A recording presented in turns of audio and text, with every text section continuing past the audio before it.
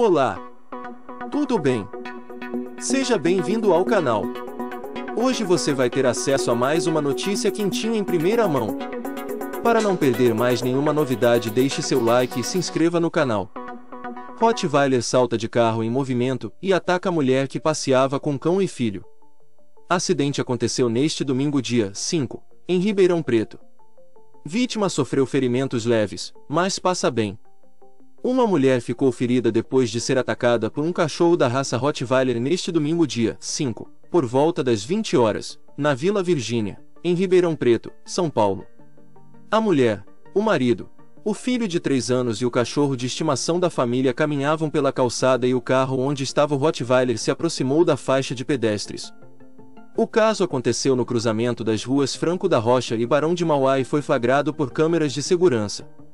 Nas imagens, é possível ver que o cachorro pula a janela do veículo em movimento e corre na direção da família.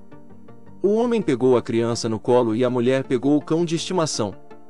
Todos correm em direção a uma praça na rua Franco da Rocha na tentativa de escapar do ataque. Mesmo assim, é possível ver que o Rottweiler consegue atacar a mulher, enquanto ela protege o cão dela, no colo. O dono do animal desceu do carro para conter o ataque. A mulher teve arranhões nos braços e nas costas, mas passa bem. Quer ter acesso a mais conteúdos de notícias exclusivas? Deixe seu like e se inscreva no canal.